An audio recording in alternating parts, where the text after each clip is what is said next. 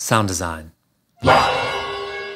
Alright, so the first step in uh, sound system tuning is making sure that the microphones are all sensitivity matched. And if you only have two microphones, um, probably the easiest thing to do is point them at each other like this, and then you can have the capsules and the microphones orientated like this. That's why you, you get the capsules as close as possible to each other um, right in front of this speaker. But since I have three of them and I don't want to have to run back and forth between my computer and here, then I've just pointed all of them at the speaker, um, getting the capsules as close as possible so that sound's kind of arriving all at the same time.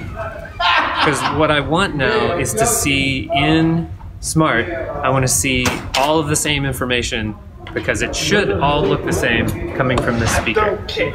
So I just set the speaker up here freestanding. An important part of this is to get this away from the floor and any other walls and surfaces that would create reflections um, because we don't we want as little interference as possible. So I'm thinking about the three to one rule in terms of how far away the microphones are from the speaker and how far away the speaker is from the ground. So the microphones are three times the distance from the uh, that a reflection path might take from the speaker these microphones. So um, basically, just trying to create as few reflections as possible that might influence this measurement. I know there's going to be some because we're still inside and there's some background noise here, but um, this is a pretty good situation.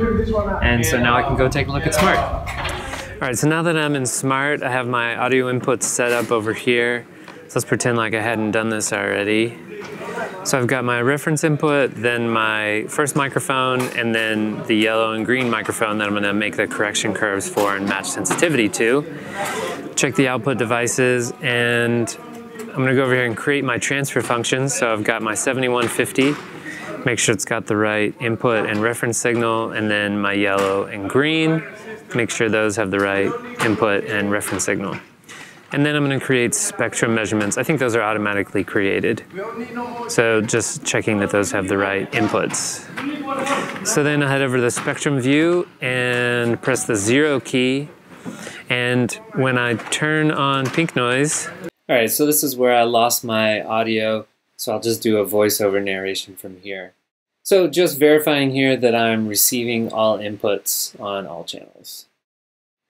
And here I'm just check verifying uh, my delay times and my coherence, trying to make sure I have as close to 100% coherence as possible, averaging five, six seconds.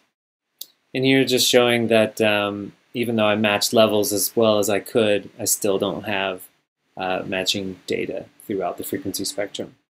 So the first step is just to select the reference trace, copy it to ASCII, paste it into this calculator from Mija Krieg Schreiber, and then um, copy the next trace um, that I'm going to create the microphone correction curve for. Taking a look at this, you'll see that sometimes you get error messages here, um, and usually I just ignore that if I know I have uh, pretty good data. Then I'll want to save this sheet as a comma separated value file, and I'll just give it a name something that is obvious for me in the future. Yes, just save the active sheet, continue. And then now uh, I'll create, uh, copy that last trace and do the same thing. Paste it into the difference in curves calculator and save this sheet.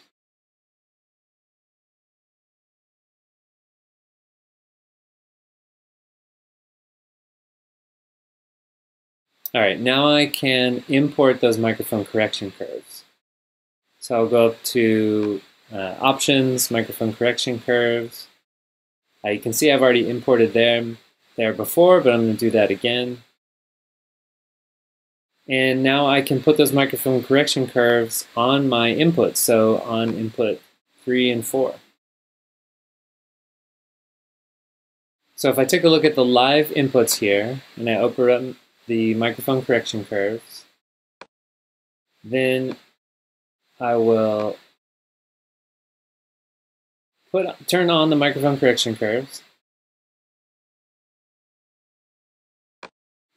And when I run the live measurement again, you'll see that now they lay on top of each other. And I have um, much more closely matched data than I did before without the microphone correction curves.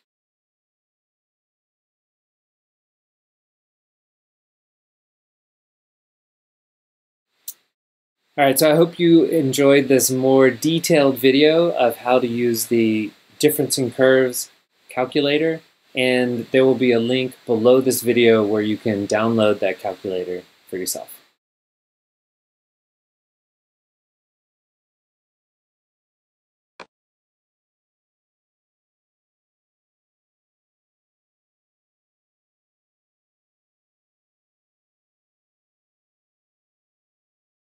Sound design.